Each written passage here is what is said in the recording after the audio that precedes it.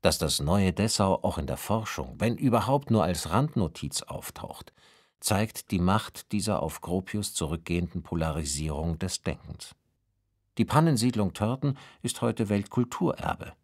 Ziebig, das man ja auch als Wiege des Urban Gardening betrachten könnte, im besten Fall ein Thema für Lokalforscher.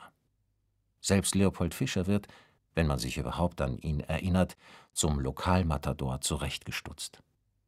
In der Fachliteratur wurde er, kein Witz, selbst in solchen Büchern vergessen, die sich vergessenen Architekten widmen.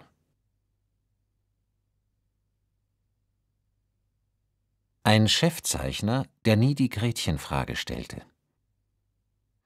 Mitte der 50er Jahre schrieb Dora Fieger, die Frau des Architekten Karl Fieger, einen Brief nach Amerika.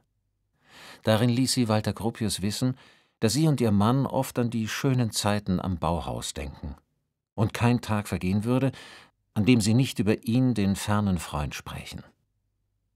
Frau Fieger vergaß auch nicht zu betonen, wie sehr sie sich freuen würde, wenn er sie noch einmal besuchen würde. Dazu ist es nicht gekommen. Karl Fieger starb 1960 in Dessau, wo er mit seiner Frau, der ehemaligen Sekretärin von Gropius, in dem von ihm selbst entworfenen Haus gelebt hatte. Dessau lag nun hinter dem eisernen Vorhang in der DDR, war also schlecht zu erreichen. Und Gropius, der in dieser Zeit zwar häufig aus den USA nach Deutschland kam, hatte wie immer viel um die Ohren.